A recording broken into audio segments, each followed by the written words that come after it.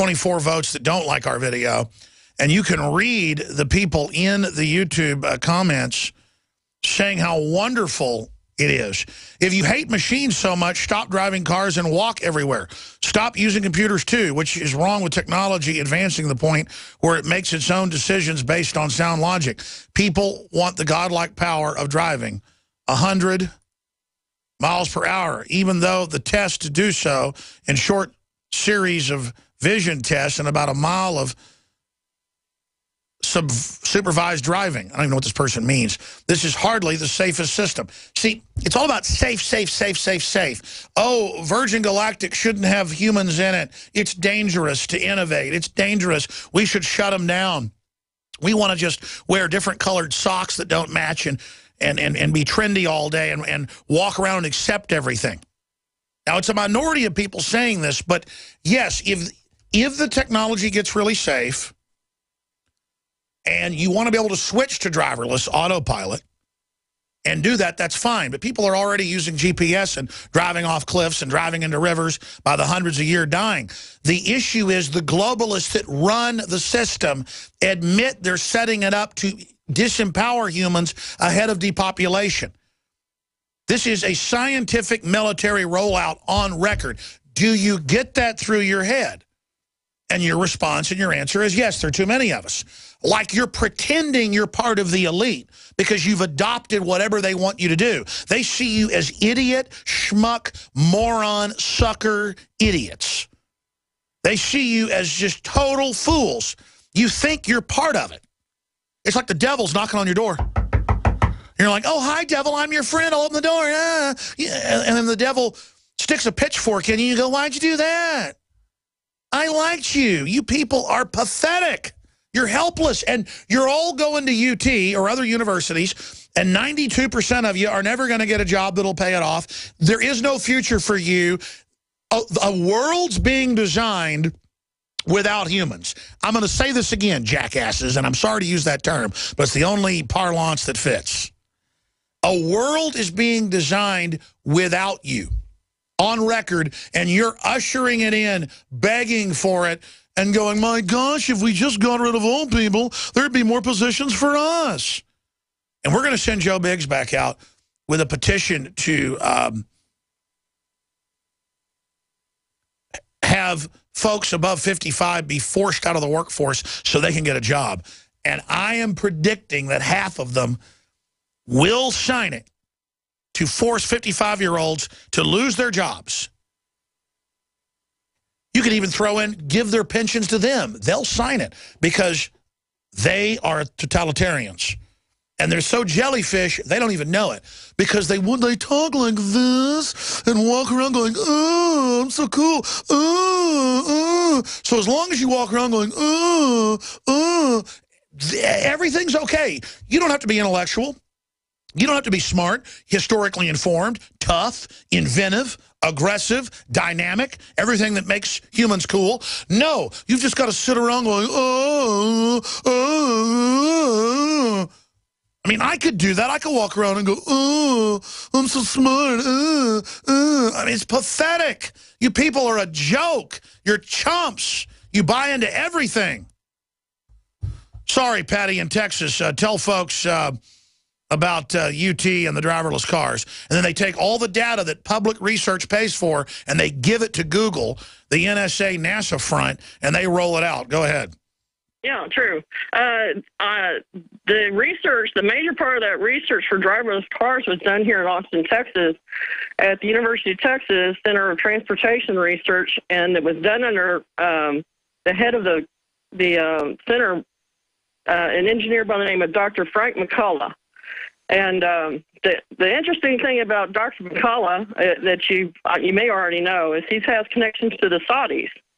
He, if I remember correctly, he is the engineer who designed and built the largest airport uh, at, at the time, anyway, in Saudi Arabia. And um, the McCullough family still has connections to them.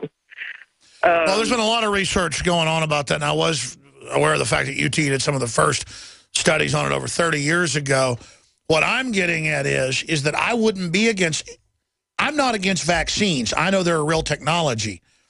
But the globalists don't want us to get clean, real vaccines. They don't want to tell us the pitfalls of, of, of clean vaccines. They have an agenda on record to hurt us. That's why I'm against it. I'm not against driverless cars if they get really safe in the future, except there's an agenda to force us out of our cars and to give us less for more while the globalists you know, drive around in giant armored vehicles. This is social engineering, and it's dangerous, and we need to vote with our dollars while we still can to not go along with this. Thank you so much, Patty.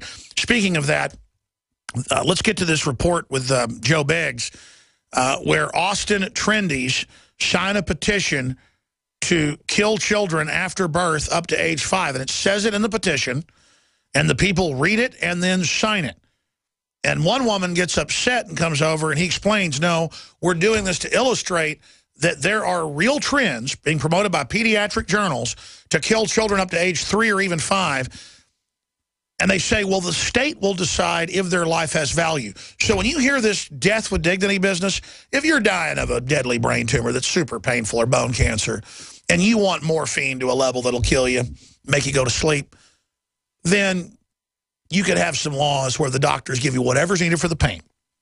The problem is they take something that sounds reasonable and the state comes in and now in the Netherlands and other places, they're killing folks that are viable. They're now starting to do this here. This is the plan. This is death panels. This is deciding, oh, you're a 50-year-old veteran. You got kidney failure. We're not going to take care of you get you a kidney transplant. Just go die. We're going to put you on a secret death list. That's what this is about. And Bill Gates and everybody's gone around and given these speeches about death panels where they say, we can hire 10 teachers, uh, hire 10 teachers by not giving care to a patient. And so they introduced the idea that someone dies, you get something. As if, as if Bill Gates doesn't want to wipe out all you trendies. They hate you. I happen to know they respect me. I happen to know that the globalists respect people that fight them. And I don't want their respect. I could care less. These people are out of their minds. But, I mean, I call it chumping. And you guys like to be punked. You like to be chumped. I don't mean our listeners, but the people in this video. It is a religion of just, well, I'm for it if the FDA says so. Ooh. Oh, they're so dangerous. And their ignorance and their weakness is so powerful. They have no life force. They have no will. They, they, they have no destiny. They, they just, they have just come here and they're hordes of weakness. And they collapse one state and then like a horde of locusts, they fly to the next and land and then just start walking around bumbling in arrested development at about the sixth grade level, talking about how smart they are all day. I want to throw up. Let's go ahead and uh, go to this uh, Staff Sergeant, former Staff Sergeant Joe Biggs goes out and talks to the new enemy, the invincibly ignorant. And I want to be clear. He thinks and says, you know, a lot of them are really evil. I agree. Some of them have evil mindsets, but probably don't even know they're evil. More importantly, what's evil is their ignorance that they think submission to the system, compliance to the system is the way to go when the system is so bankrupt and evil and so complex and they can't even grasp it because it wasn't on Family Guy or Adult Swim uh, or if it wasn't in the little cutesy shop. Uh, let's go ahead and play the clip. I'm Joe Biggs with Infowars.com here at the University of Texas in Austin. Now, there's a trend going around college campuses nationwide. It's all the new rave, post-birth abortions. A lot of you probably never heard of that term. I know I hadn't until yesterday. Well, post-birth abortion is after the baby is born and up until five years old when it's able to make decisions or is self-aware, you can still kill the baby. Now, I know that seems shocking, why not? It's just a fetus. But there's a lot of college kids around the country who agree with killing babies up into the age of four or five. So I came out here today to find out whether or not UT agrees with post-birth abortion. Let's go see what happens. A lot of people, they have uh, botched abortions. you know what that is? And what this is is a post-birth abortion act of Rachel Maddow? If you want to sign it or not. But you can take a look over it and I don't think that person's evil. Just, Thank just totally Thanks for compliant. Abortion Act.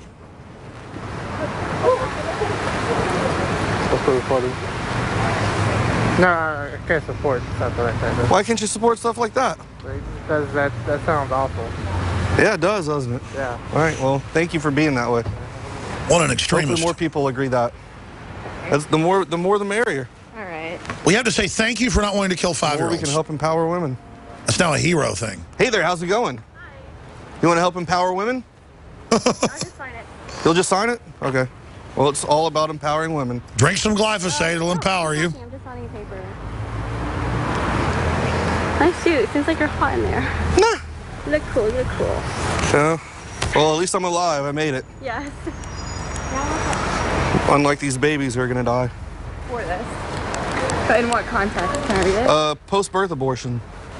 Women who have botched abortions, sometimes they fail, and it's to give them the uh, the ability to go ahead and go through with it after the baby's been born. oh. So first of all, I can't even. I don't even have a comment